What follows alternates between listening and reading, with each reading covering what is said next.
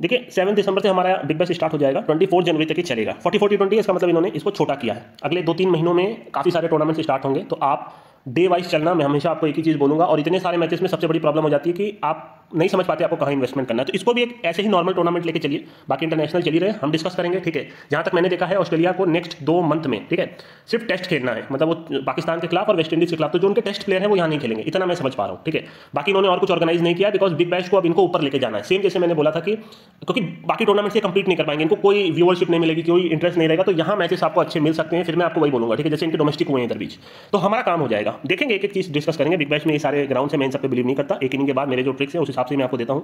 Fan code और Disney पर दिखा रहा है बट टीवी पे तो आएगा ही, कोई ना कोई ये ऑर्गेनाइज कर देंगे। और इंडिया टाइम के हिसाब से जो हम देख रहे हैं, वो हमारे टाइम के हिसाब से इन्होंने रखा है। इनको रखना ही पड़ेगा, ये सुबह नहीं रख सकते, ठीक है? अगर इनको व्यूअरशिप चाहिए तो इंडिया टाइम के हिसाब से ही करवाना पड़ेगा, ठीक है? जैसे डेढ़ बजे, ये सब टाइम पे अपन देख सकते हैं ना मैच, और आठ टीम रहेगी फोर्टी फोर्टी ट्वेंटी है मतलब कि सारी टीम आपस में एक एक मैच तो नहीं खेल रही। ये मैं ऐसे कैलकुलेट करता हूँ, वो भी बता दे रहा हूँ, जैसे आठ टीम सात से खेलेगी, ठीक है? फिर सात छः से खेलेगी तो ऐसे आप करोगे तो फोर्टी फोर बहुत कम है। एक दो टीम हो सकता है, एक दो टीम के साथ न खेले, जैसे एक बार आईपीएल ऑर्गेनाइज होता है उससे कोई फ़र्क नहीं पड़ता, उतना डिटेल में जाने की ज़रूरत नहीं है। चार टीम क्वालिफाई करेंगे, काम खत्म। आइए फटाफट देखते हैं टीमों में थोड़ा चेंजेस ज़रूर हुआ होगा। जो जो मेरे को पता है, वो मैं आपको बता दूँगा। कुछ प्लेयर जो मेरे को इंस्टेंट समझ में आएगा, वो सारी चीज़ आपको बताऊँगा, कौन सी डिफरेंट टीम हो सकती है, कौन सी चीज़, और फिर एक एक मैच हो जाने के बाद अपने टेलीग्राम पे फाइनल व्यू दूँगा ठीक है? देखिए सैम हेंस मैं यही मान रहा हूँ कि अभी आने वाले टाइम में एक दो साल में हर एक लीग में मिलेंगे। टॉप क्लास क्रिकेटर है, मैं लिख के दे रहा हूँ, ठीक है इंटरनेशनल भी शायद इन्होंने डेब्यू कर लिया था और इंग्लैंड के मेन प्लेयर बनने वाले हैं। सैम हेंस रन मशीन है, आप मान के चलो, और यहाँ रन बना के देंगे। कैलेब ज्वेल ओपन अच्छा करते हैं, अच्छी बैटिंग करते हैं, और उनके डोमेस्टिक में भी अच्छा खेल रहे हैं। क्योंकि देखिए, इतने सारे ऑस्ट्रेलिया में है, बाहर से भी लिए हैं, सिर्फ़ आठ टीम है तो आपको अच्छे ही प्लेयर मिलेंगे, कोई खराब प्लेयर नहीं मिलेगा।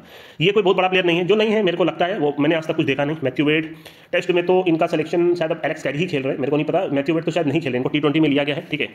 चलिए ठीक है, मैं अपना देख ही लेता हूँ। ये एलेक्स कैरी को लिए हैं। तो मतलब एलेक्स कैरी दो मंथ कहीं नहीं, यहाँ नहीं खेल पाएगा। तो मैच्यू वेट खेलेंगे। और ऐसे में इनको कैप्टन बनाया गया ये टी वर्ल्ड कप के मेन प्लेयर रहेंगे। इन्होंने इंडिया के खिलाफ एज ए फिनिशर काफ़ी अच्छी भूमिका निभाई है। और ये मोस्ट प्रोबेबली होबार्ट के लिए एज अ फिनिशर आएँगे। मोस्ट प्रोबेबली छठवें या सातवें पे आएँगे और आपको मैच विन करते हुए मिलेंगे। ठीक है? मैट डरमोट मैं बार बार आपको यही बोलूँगा, अगर आप मेरे को फॉलो करते हो मोस्ट अंडर रेटेड क्रिकेटर जिसको आज तक रिकग्निशन नहीं मिला। इंडिया के खिलाफ इन्होंने दो टी ट्वेंटी खेला, पहले में फ्लॉप रहे, दूसरे में स्पिनर को छक्का मार रहे थे। ठीक है?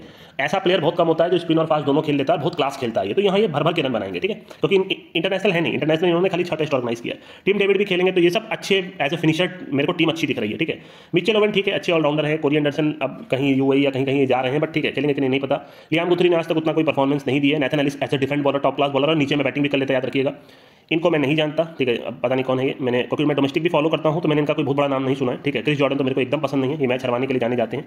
खेल लेते हैं, ऐसा नहीं है, भाई, दस में एक दो मैच कोई भी खेल लेगा। रैली मिल भी मेरे को पसंद नहीं है, जब आईपीएल में भी आए थे तो मैंने यही बोला था, भाई कहाँ कहाँ से सब सिलेक्शन करने एक एक टूर्नामेंट अच्छा खेल लिया डब्ल्यू बीबीएल का तो बस भाई टीम में ले लो, ऐसा नहीं होता, ठीक है। तो इंटरनेशनल में भी खराब कर रहे हैं। विलिस टैकलैंड भी कोई बहुत बड़ा गेंदबाज नहीं है। हाँ ये बॉलर डिफेंड बॉलर है पैट्रिक डूली काफ़ी विकेट लेता है और ठीक ठाक बैटिंग कर लेता है हिटिंग कैपेबिलिटी नहीं है। पीटर हैटेजगुलू ये आपके रेनेगेट्स में थे, ये भी अच्छा प्रदर्शन कर रहे हैं, ठीक है। तो इनके पास दो स्पिनर हो गए, ठीक है। और मतलब हैटेजगुलू कोई बहुत बड़ा बॉलर नहीं है बट ठीक है, और आपके नेथन एलिस हो गए तो इनके पास, देखिए डिफरेंट टीम क्या होती है, पहले अपने को ये समझना है, जो मेरा रूल है डिफरेंट टीम में कम से कम आपके बारह ओवर बहुत अच्छे होने चाहिए, ठीक है तो इनके पास आठ ओवर बहुत अच्छे हैं, ठीक है, अब देखा जाए तो बाकी के, ठीक है, कहीं ना कहीं ठीक ठाक बॉलर हैं, इतनी कोई खराब टीम नहीं है इनकी, अगर बॉलिंग वाइज भी दिया जाए, और बैटिंग में यही है कि ये मैं डरमट तो ओपन करेगा। बट आपको इस टीम में यही है ना कि अगर ये वाकई में, देखिए, मैं ये सोचता हूँ, देखिए, आप सोचो कि कौन सी टीम क्यों हारती है, चेन्नई क्यों जीतती है, क्यों गुजरात जीतती है? क्योंकि वो नीचे के जो प्लेयर होते हैं टी ट्वेंटी में एज ए फिनिशर खेलते हैं। अब जैसे, मैं सारी चीज़ आपको समझाऊँगा। डब्ल्यू में स्टार्स फेल हो गई। क्यों? हिट क्यों फाइनल तक गए? क्योंकि नीचे तक बैट्समैन थे। स्टार्स ने क्या किया? सोफिया ट्रंकली को ओपन करा दिया। मैक लैनिंग ओपन में आ रही है। एलिस कैप्सी तीसरे पे आ रही है। सबको शुरू में भेज दो। और आखिरी में कोई बल्लेबाजी नहीं बचा। तो इसीलिए वो हार रहे हैं। अगर, मैं ये अभी से बता दे रहा हूँ, अगर ये फिक्स कर लेंगे कि भाई, मैं टीम डेविड को पाँचवें पे भेजूँगा, ठीक है? और मैं मैथ्यू वेट को छठवें पे भेजूँगा। तो एज अ फिनिशर और सैम हेंस मान लीजिए, चौथे पे रहेगा। बहुत तगड़ी चेजिंग टीम ये हो जाएगी, ठीक है? बहुत अच्छी। और नीचे में कहीं ना कहीं क्रिस जॉर्डन थोड़ा बहुत हिटिंग कैपेबिलिटी रखते हैं नेथन एलिस रखते हैं। कोरी एंडरसन भी अगर नीचे में है तो ठीक है नीचे लोवन भी सब एवरेज है। बट मेन प्लेयर आपके यही रहेंगे मैथ्यू वेट और टीम डेविड नीचे में एज अ फिनिशर अगर ये खेलते हैं तो इनकी टीम एज अ फिनिशर जानी जाएगी। मतलब चेस के लिए आप जा सकते हो। अगर ये वाकई में इस क्रम में भेज रहे हैं हाँ अगर मैथ्यू वेट तीसरे पे आके वो करता है तो फिर वो नहीं होने वाला, ठीक है? तो ये बात हो गई। और इनके पास दो अच्छे बॉलर हैं, बाकी देखना पड़ेगा। हालाँकि ये सब इंटरनेशनल खेल चुके हैं तो ये टीम अच्छी है, अच्छी टीम है। लास्ट ईयर ये शायद क्वालिफाई नहीं कर पाए थे, इनका ये टेबल मतलब सबसे ज़्यादा मार्केट इनको सपोर्ट कर रहा था, पर फिर भी हारे थे। इस बार शादाब खान ये सब भी नहीं दिख रहे हैं। टीम अच्छी है। एक बार सारी आठों टीम हम लोग देख लेते हैं फटाफट, ठीक है? हाँ पर एक चीज़ और याद रखनी होगी कि इस बीच आपके बहुत सारे अदर टूर्नामेंट भी शुरू होंगे। साउथ अफ्रीका का है, ठीक है? आपका यूएई वाला जो होता है बट यही है कि ये सारे प्लेयर उधर ना चले जाए, क्योंकि प्लेयर को आजकल लालच बहुत हो गया। वो इधर भी खेलेंगे, उधर भी खेलेंगे, हर जगह अवेलेबल अगर मैं एज अ क्रिकेटर हूँ, मेरे को दिख रहा है कि भाई मेरे को यहाँ पैसा मिल रहा है, ठीक है? डब्लू ये बीबीएल में पैसा मिल रहा है। पैसे से मेन है कि आप कहाँ परफॉर्म करना चाहते हो। एक जगह खेलो। आजकल प्लेयर कहाँ है? पर दस दिन इधर खेलेंगे, दस दिन उधर खेलेंगे, फिर दस दिन उधर खेलेंगे। उसका कोई सेंस नहीं है। लोग पागल हो गए पैसे के पीछे।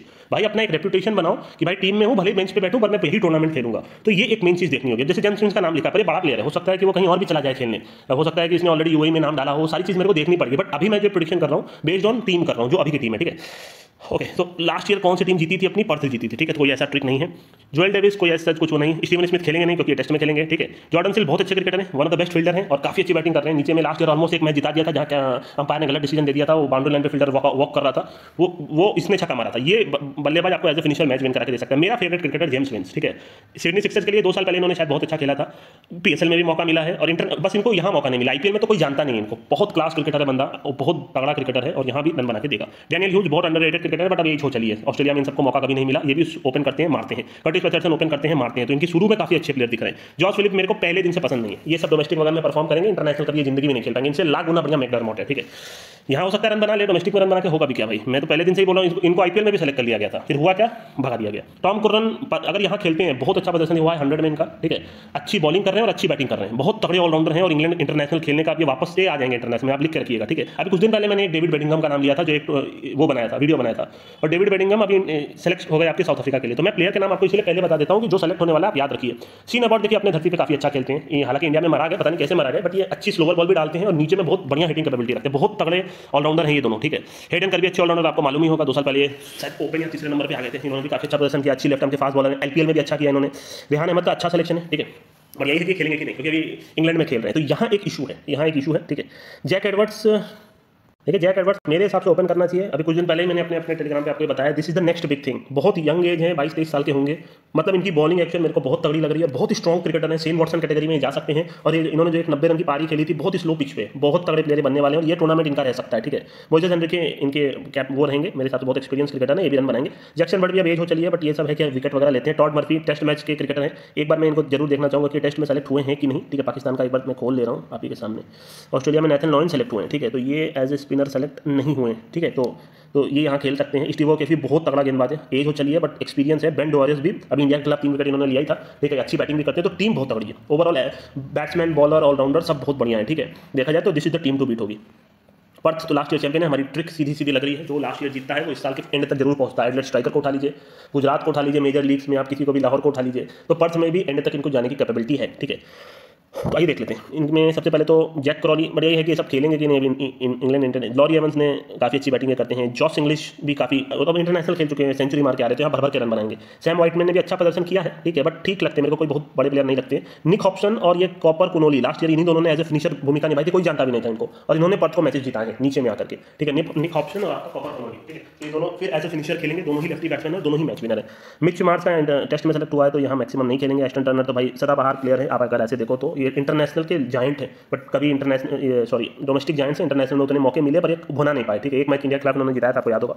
एलोन हार्डी भी इंटरनेशनल खेल चुके हैं। मैं ये बोल रहा हूँ कि जो बंदा एक बार इंटरनेशनल खेल लेता है, उसके लिए डोमेस्टिक आसान हो जाता है, ठीक है? क्योंकि उसने वो सारी चीज़ देख ली। तो ये यहाँ और प्रदर्शन करेंगे। एस्टन एक प्रदर्शन करेंगे, आपको मालूम है एरोन टाई आपको मालूम होगा ऑलराउंडर है, अच्छी बॉलिंग कर रहे हैं। लांस मॉरिस का तो सिलेक्शन हो गया टेस्ट में। मैथ्यू के लिए भी अच्छे ठीक ठाक बैटिंग बॉलिंग दोनों करते हैं झाई सेशन को आप जानते ही होंगे। ये नीचे में हिटिंग कैपेबिलिटी रखते हैं। हमीश मैकेजी को मैं नहीं जानता जेसन बैंड्रॉफ मेरे one of my favourite left fast bowler है। तो यही है लास्ट ईयर की चैंपियन है तो कुछ भी हो, इनके साथ ही हमको रहना है, ठीक है? आते हैं हेडलेट स्ट्राइकर के ऊपर, ठीक है। क्रिस लेन काफ़ी मोटा मार के देते हैं, तभी अच्छा भी खेल रहे हैं। एडम होसे एक और अच्छा सिलेक्शन इंग्लैंड के एडम होसे और वो जो दूसरा प्लेयर है, दोनों अच्छा कर रहे हैं। हेनरी एंड थोड़े टेस्ट मैच टाइप के प्लेयर हैं। थॉमस कैली भी कोई बहुत बड़े प्लेयर अभी तक तो नहीं है एलेक्स कैरी खेलेंगे नहीं। जेक वेदरल भी बस ये है कि खेलते हैं टाइम टाइम फिलिप सॉल्ट पहले इसी का प्लेयर था। हैरी लेंसल भी इनको काफ़ी नीचे भेजा जाता है, बड़े प्रदर्शन कर लेते हैं बट ठीक है, अभी भी वही एवरेज टीम लग रही है। ट्रेविस खेलेंगे नहीं टेस्ट में खेलेंगे। बैन मैंटीन के ऑफ़िस ऑलराउंडर रहेंगे। ये लास्ट ईयर शायद इसमें नहीं खेले थे। डार्सी शॉट इसमें आ गए एडलेट में। पहले तो ये होबार्ट में थे, हो सकता है यहाँ प्रदर्शन करने पर अभी इनकी भी हो चली है।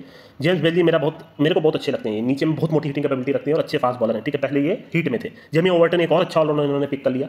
ये बहुत तगड़ा हिटिंग करते हैं नीचे में और ठीक ठाक बॉलिंग करते हैं। मेरे ख्याल से सर समर सेट जो जीती है, उसी में थे ये और मैट हेनरी मैथ्यू शॉट तो भाई अब इंटरनेशनल खेल चुके हैं रन बनाएँगे ऑफ़ स्पिन भी अच्छा करते हैं।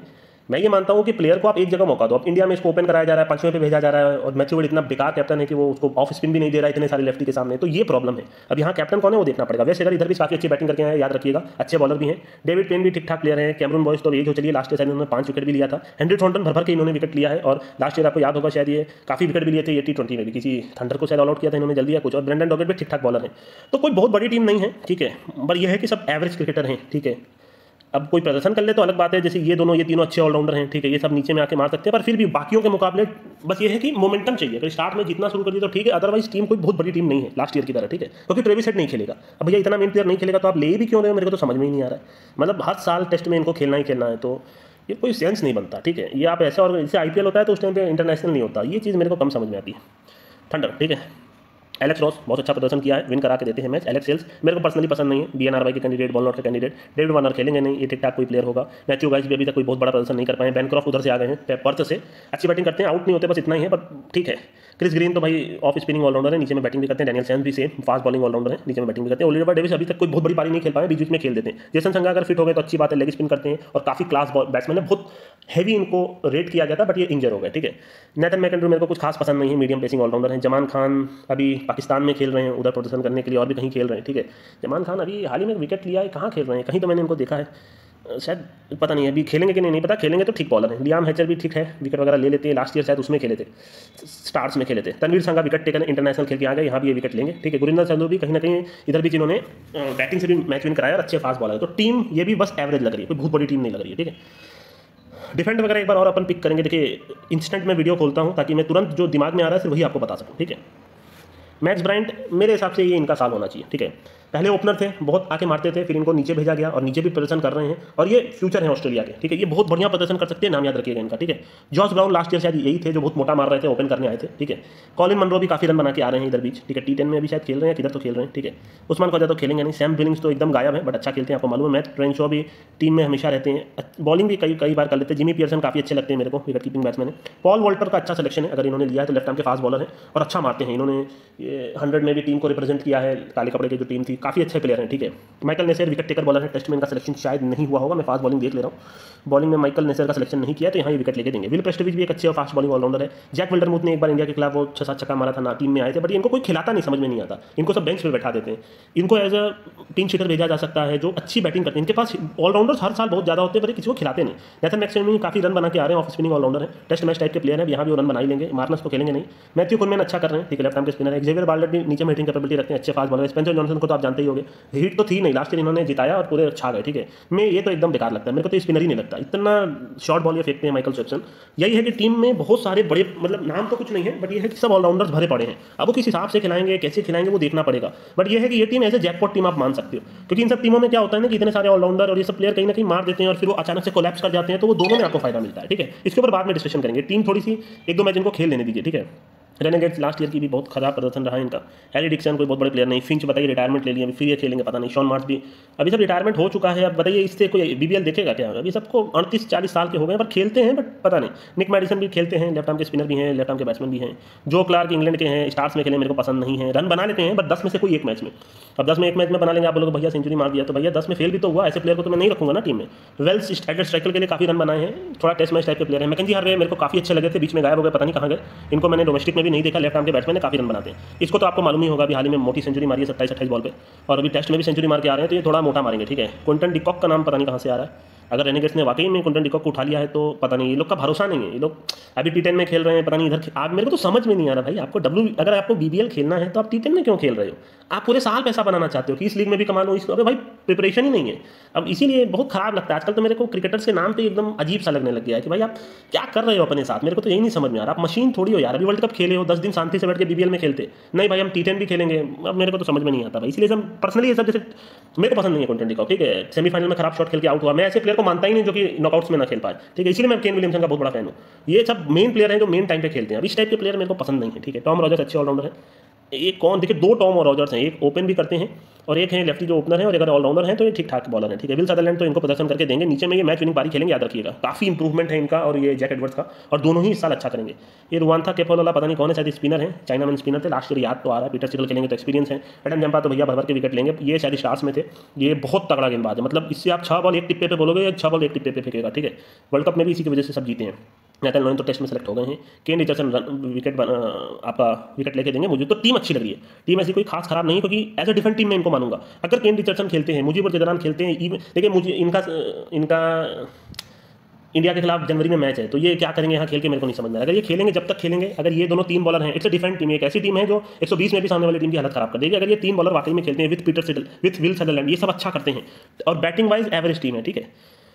ये लास्ट टीम हर साल मेरी फेवरेट टीम रहती है, पर कुछ कर नहीं पाती, ठीक है। जो बंस टेस्ट के प्लेयर हैं बट रन बनाते हैं। निक क्लार्किन काफ़ी क्लास क्रिकेटर हैं, ये भी रन बना के आ रहे हैं बट बहुत बड़ा कुछ वो नहीं है। हाँ ये टॉम रोजर से शुरू में मारते हैं बीनार के कैंडिडेट सैम हार्पर भी हर साल, ये शायद उसमें थे रनिंग गेट्स में थे, ठीक है। तो ये भी है ठीक ठाक खेल लेते हैं। उस्मा मीर तो मेरे फेवरेट क्रिकेटर में से एक है लेग स्पिनर है, और नीचे में ऐसे प्लेयर हैं जो दस बॉल पर तीस रन भी बना सकते हैं, ठीक है। इमाद वसीम का भी सिलेक्शन काफ़ी अच्छा है, ठीक है लेफ़्ट के स्पिनर है। बट ये खेल लें टी टेन में खेल रहे हैं, इधर खेलेंगे कि नहीं पता, खेलेंगे तो बहुत बड़ी बात है। लियाम डॉसन का सिलेक्शन बहुत तगड़ा सिलेक्शन ये भी, ये, के लिए काफ़ी अच्छा खेल के आ रहे हैं, ठीक है। अच्छी बैटिंग भी करते हैं।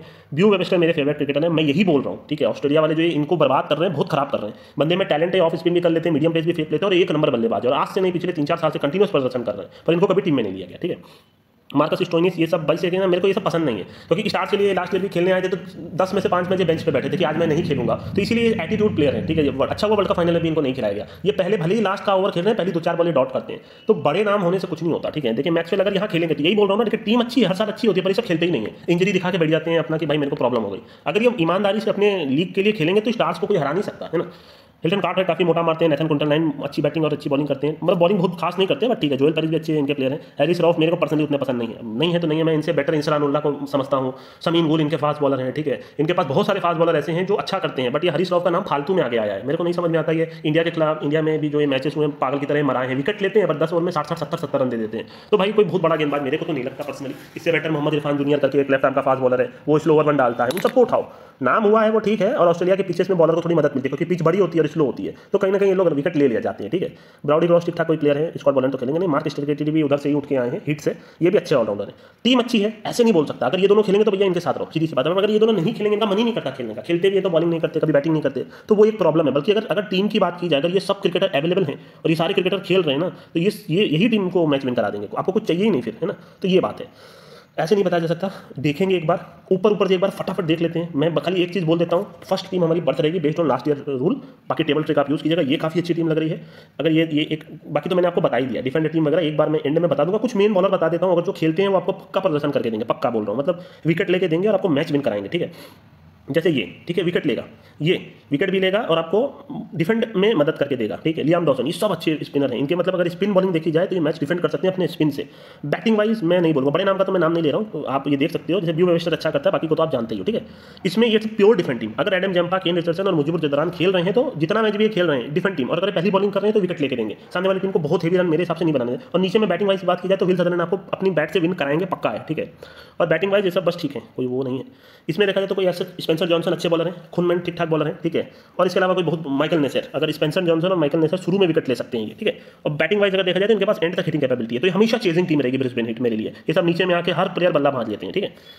इसमें देखा जाए तो तनवीर संघ आपको विकेट लेके देगा, जमान खान अगर करता है तो ठीक है एज ए डिफेंड एक दो बार इन्होंने किया है डैनियल चैम्स धीरे धीरे इंप्रूव हो रहे हैं क्रिस ग्रीन कर रहे हैं, ठीक है? तो इनकी बैटिंग ऐसे में भी कोई बहुत खास बैटिंग तो है नहीं तो इसको भी एज ए डिफेंड टीम आप मान सकते हो, ठीक है? ये कोई बहुत खास टीम तो नहीं लग रही मेरे को, ठीक है? पर ये दोनों बल्लेबाज जैसे ऐसे हैं कि ये सब नीचे में बैट से आपको विन करा सकते हैं, ठीक है? शॉट का प्रदर्शन हमेशा अच्छा रहेगा, ठीक है। ये तो भाई हमारी टीम ही रहेगी, ये भी काफ़ी तगड़ी टीम है, इसमें मेरे को कुछ बोलना ही नहीं है, ठीक है। मैच विन में आपके जॉर्डन सिल्क आपको मैच विन करा सकते हैं, नीचे में आपके सीने बॉट टॉम करोनी सब तगड़े हिटर हैं, ठीक है। और इनकी टीम में भी जैसे ये अच्छा प्रदर्शन करेगा पैट्रिक डूली आपका नेथ एनालिस्ट ठीक है। और बाकी टीम अच्छी है ये वाली भी बट यही है, एक बेसिक मैंने बता दिया, अब होगा देखा जाएगा एक एक मैच हो जाने दीजिए। कोई बहुत बड़ा टूर्नामेंट में मैं वो नहीं करने वाला हूँ कि भाई यही सब कुछ है। एक बेसिक इंट्रोडक्शन मैंने दे दिया, कुछ चीज़ें आपको समझा दी, बाकी जो होगा देखा जाएगा।